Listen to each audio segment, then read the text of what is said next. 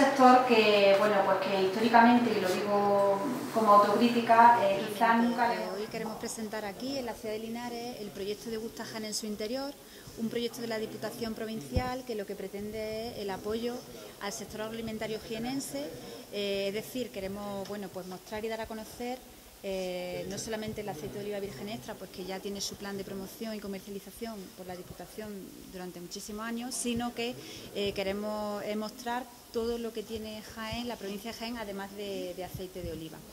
entonces, bueno, este proyecto pues tiene, tiene varias líneas de actuación. Una de las líneas estratégicas y fuertes es la puesta en marcha de un portal web de gustajaen.com que ya hemos presentado y que también venimos hoy aquí a la ciudad de Linares a darlo a conocer donde eh, ahí tenemos una relación o tenemos eh, una serie de empresas, eh, en concreto han participado unas 150 empresas y se muestran unos mil productos agroalimentarios de nuestra provincia. Ordenados por municipios, por comarca, bueno, pues se pueden buscar los productos que, el, bueno, pues que el internauta desee y con el objetivo de que haya una referencia eh, donde estén todos ubicados y sea más fácil su localización. Es decir, los productos agroalimentarios de la provincia en general pues son producciones pequeñas, son producciones que a veces no llegan a los mercados o a los comercios, eh, a nuestros comercios de, referencia, a nuestros comercios habituales y por ello, eh, bueno, pues teniendo en la web la referencia de los productos, pues yo creo que también va a ser más accesible no solamente en nuestra provincia, sino fuera de ella. El objetivo de Degustagen, entre otros, como digo, es mm, apoyar al sector, pero también hacer estos productos más accesibles y más cercanos a los consumidores. Por ello también otra de las pilares importantes de este proyecto son los mercados locales que estamos realizando por la provincia eh, y que se han realizado ya más de 10 y ahora estamos eh, realizando eh, la muestra provincial de la cereza que también recaló aquí en la ciudad de Linares. Y bueno, pues por mi parte nada más, agradecer la asistencia de los empresarios, de los comerciantes también de los hosteleros que se han acercado aquí hasta conocer este proyecto, también por supuesto el ayuntamiento que nos ha brindado bueno, pues la organización del acto que ha corrido a cargo de ellos y en definitiva, eh, como he dicho al principio, dar a conocer estos productos y sobre todo, bueno, pues ligado al campo, ligado a los productos alimentarios, hay una serie de empleos que son unos 20.000 entre directos e indirectos. Yo creo que es importante eh, ayudar a estos productores y ayudar a estas empresas, porque detrás de un producto, detrás de un queso, de un vino, de una carne, de un paté, eh, de, de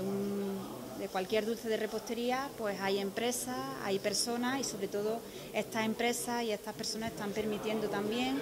empleo en nuestros municipios y que nuestros municipios eh, bueno, pues tengan actividad económica. ¿no? Entonces, bueno, por, por, todo ello es por lo que estamos apoyando y hemos, y hemos puesto en marcha este proyecto de Gustajain. A través de presentaciones como esta, también a través de los mercados locales, porque cuando hemos realizado un mercado local en algunos municipios hemos hecho previamente esta presentación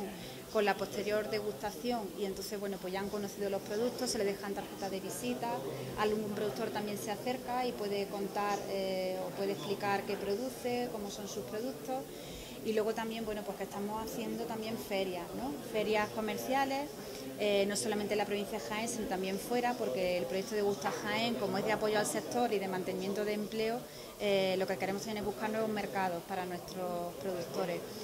y también bueno campañas en medios de comunicación eh, y a partir de ahora bueno pues también estamos abiertos a lo que el sector eh, tanto de comercio como de hostelería también nos quiera nos quiera proponer. De hecho el viernes pasado en el parador de turismo de Jaén celebramos una jornada en torno a la cereza.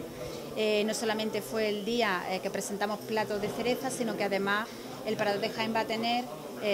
unos menús hasta el 14 de julio eh, un menú cerrado todo con plato de cereza. Por lo tanto, bueno, también yo creo que, eh, y lo lanzo ¿no? al sector linarense que tiene muy buenos restaurantes y sobre todo es muy conocido por los bares de tapas, que puntualmente en torno a un producto eh, de temporada podemos hacer rutas de la tapa, podemos hacer jornadas gastronómicas